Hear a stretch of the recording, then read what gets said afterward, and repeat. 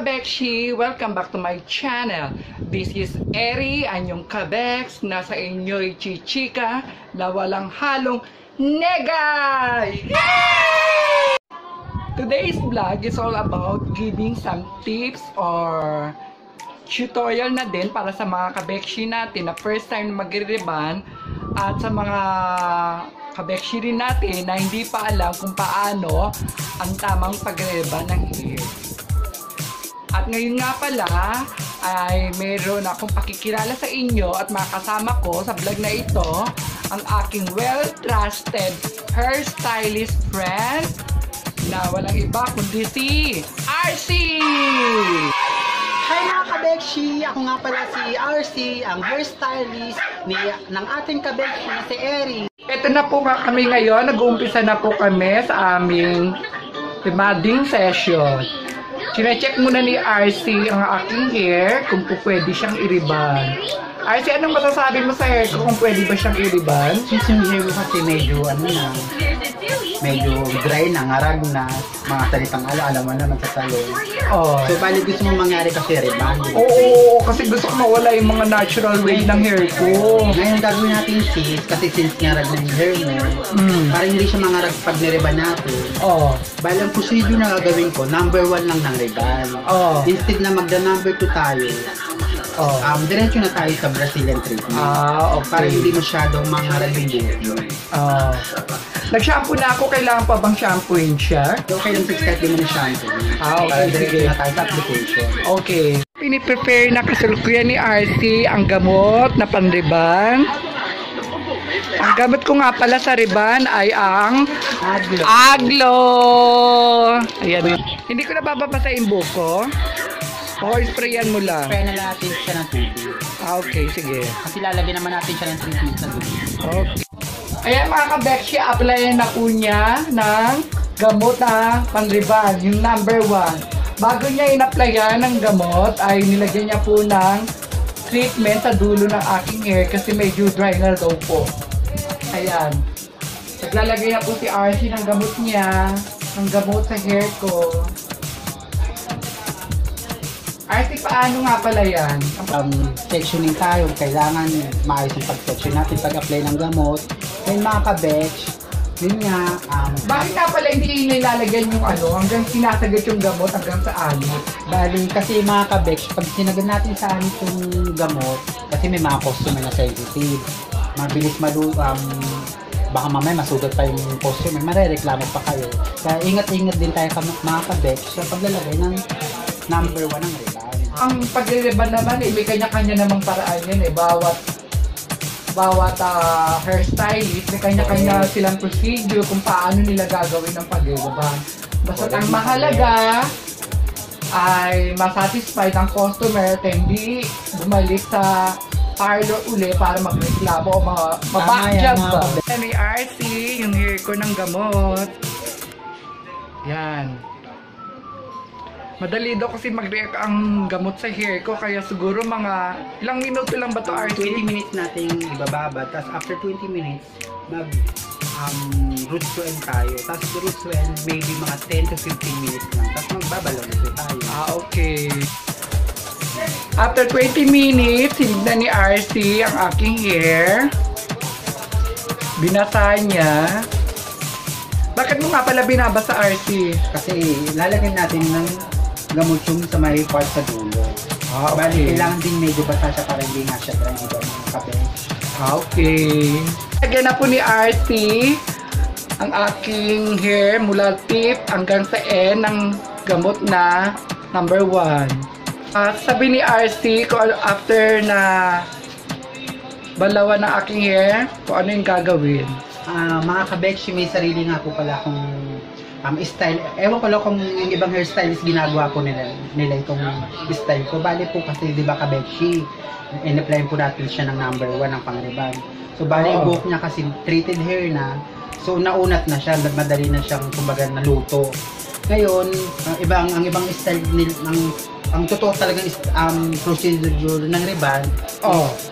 After ng number 1, di ba babalaw ng kadekshi. Oo. After balaw, ipaplanta siya bago lalagyan ng neutralizer. Oo, ganun din yung pagkakaalam ko eh. Sa akin naman kay Bekshi kasi since unat na hair ni, ni Miss Erin, Oh. ang instead na maglalagay tayo ng number 2, diretso na po tayo sa Ah, Brasilia. ay, di diretso na ka sa Opo. Kasi Brasilia. unat na rin to sa Brazilian kasi unat naman yung buhok niya, buhagag lang po yung buhok niya. Oo. Buhok- Ang buhok niya. Kaya madali na po siyang um, i-reban. Saka Ah. medyo treated hair na po siya.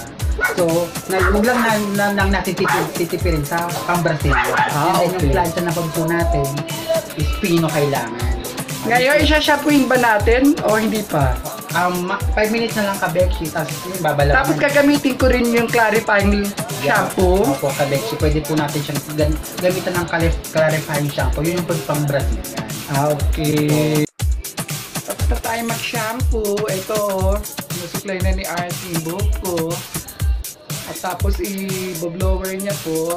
Huwag niya pong masyadong patutuyin sa blower yung buhok. Yung gagamitin natin ng Kera Gloss. Mag-apply na po si RT. Bako lang kaya nag-gloss mga kabekshi. Baka ng Kera Gloss? Diba mga kabekshi? Tapos mga kabekshi.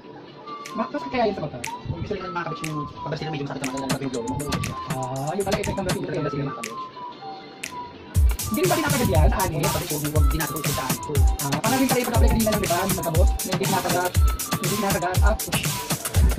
Away from the start. Ganun din po ang procedure.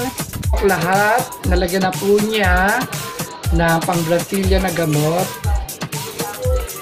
Ngayon, mga ilang minuto ito maghihintay. Ay, bababad po natin siya ng 30 to 40 minutes. Total, hindi na, naman natin siya ni- nilagay ng neutralizer. Okay na lang, kahit medyo matagal na siya nilabad. Kasi treatment lang naman dito. Wala pong kaso sa buhok yun.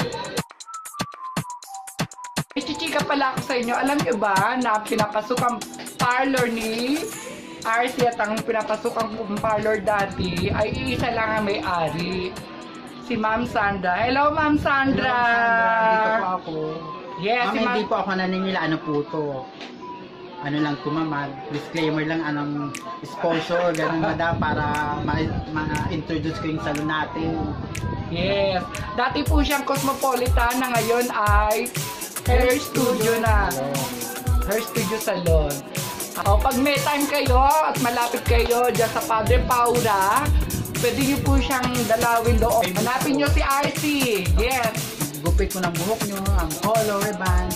After 40 minutes po ay boblower na po ni RC ang aking hair.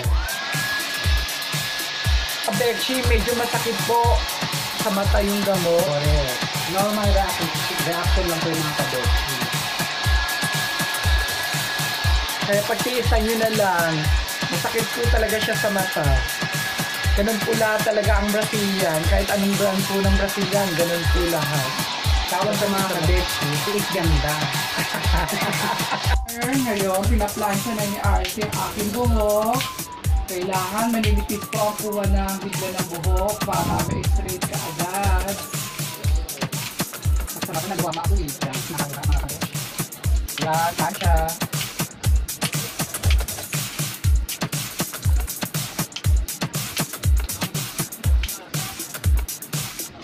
Balik na lang kami, ah, makikita namin ang resulta ng reba ni RC. One eternity later. And this is the final result of rebanding with matching keratin. At wag na wag nyo palang babanlawan ng ilang araw ba? 2 to 3 weeks. Charo! 2 to 3 days mga kadekshi, yun yung kumbabalawan. Oh, ang ganda na ng hair ko, di ba? Straight na po siya. Result, ang ribbon ni RZ sa akin. Look kung gaano siya ka-straight. And that's all for today mga kabekshi. Sana nag-enjoy kayo sa panunood sa aking hair ribbon tips and tutorial video. At sana nagustuhan nyo.